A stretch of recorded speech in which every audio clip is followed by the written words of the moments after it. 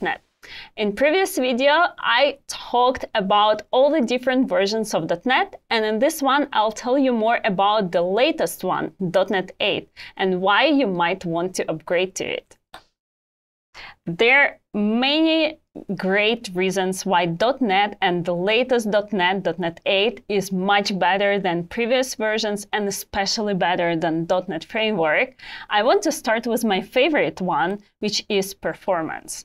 With every release, we are making .NET more performant the difference between .NET Framework and the latest .NET is incredible. But even over .NET Core 3.1, here on the slide, you can see the percentage gain of performance for web apps and web APIs. We are improving performance with every version of .NET every release. So by simply retargeting to the latest version, you're making your apps way faster and more performant for free.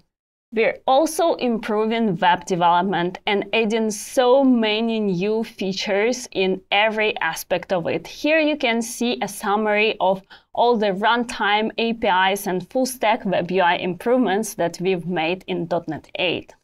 You can also now build server and client apps with Blazor, and we've added a lot of improvements in .NET 8 and really developing this area.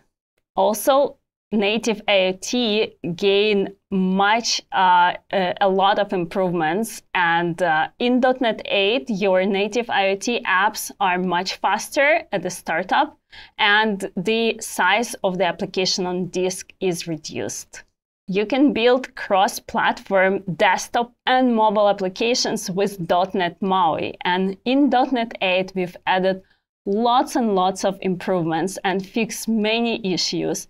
So now you get much better of .NET MAUI by upgrading to the latest .NET. So to summarize, why would you want to upgrade to latest .NET? Performance. If your applications are on .NET Framework, you will see incredible performance improvements. If they're on older versions of .NET, you still will see improvements and upgrades will be very easy. Uh, .NET 8 is modern and fast moving. So by moving from .NET Framework to .NET family, you will get access to all the modern design patterns and APIs and all the improvements we're making every year. .NET is cross-platform.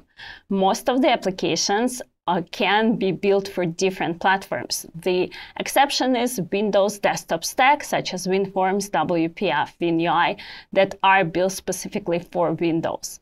Everything else you can build for different platforms. It is open source, and we want to thank all the contributors and we are very happy and excited to build .NET together with you and receive all the feedback and feature requests, bugs, and are, we are able to address it much, much faster now.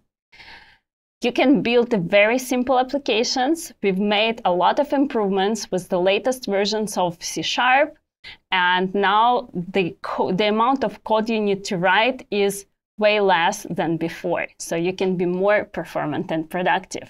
Also, .NET has a native support for ARM64, and it's a best platform for building microservices and cloud-native apps because it was designed specifically for that.